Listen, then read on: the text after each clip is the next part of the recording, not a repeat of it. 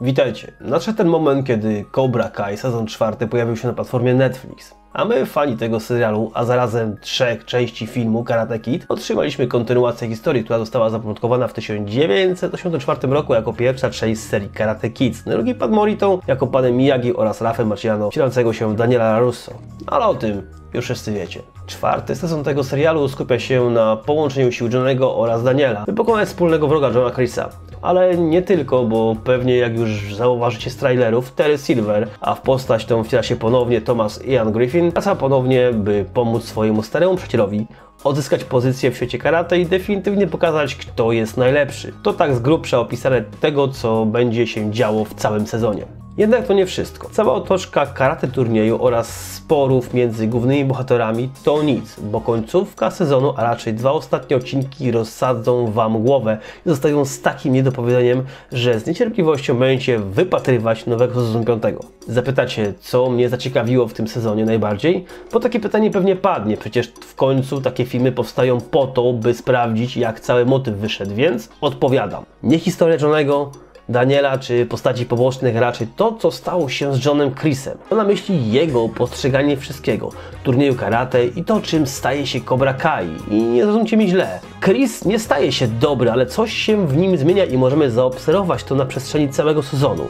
A opowiadam całą historię i akcji głównego motywu, jak wspomniałem Wam już wcześniej, wysadzi Wam łeb w kosmos. Jest wiele zabawnych sytuacji, ale to nie nowość. Muza jest świetna i mamy tu ukłon w stronę fanów Wielkiego Czwórki, gdy pojawia się ścieżka dźwiękowa i motyw treningu wykonania Johnego Lorenza, który wywołał uśmiech na mojej twarzy. Wiecie, taki nostalgiczny i to bardzo. Sezon piąty Cobra Kai jest oczywisty. Po zakończeniu ostatniego odcinka jest grubo i pojawia się pewien znajomy z Okinawy, którego mieliśmy okazję poznać z trzeciej osłony filmu Karate Kid. Powiem tyle. Akcja z bębenkami. Więc liczę na naprawdę solidną piątą odsłonę właśnie ze względu na pojawienie się tej osoby oraz zwracam uwagę na twist akcji pod sam koniec tego odcinka, który podkreślam, zamiata temat.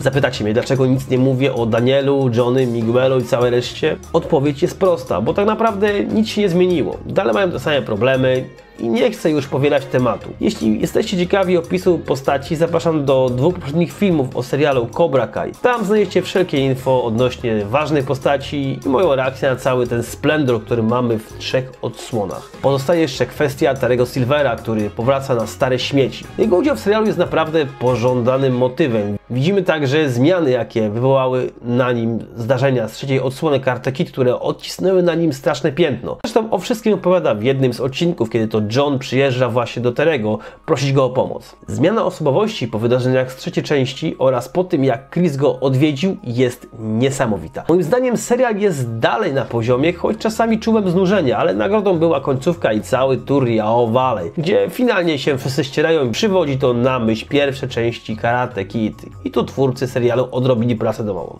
Pozostaje mi tylko zachęcić tych, którzy nie oglądali jeszcze serialu do natychmiastowego nadrobienia, a tym, którzy lubią filmy lat 80. i 90. oraz całe uniwersum do natychmiastowego odpalenia Netflix i wchłonięcia całego serialu. Dajcie znać co myślicie i który sezon waszym zdaniem jest najlepszym. I oczywiście zostawcie opis waszego czucia co do najnowszego sezonu Cobra Kai. To tyle na dziś. Trzymajcie się do następnego. Strzała.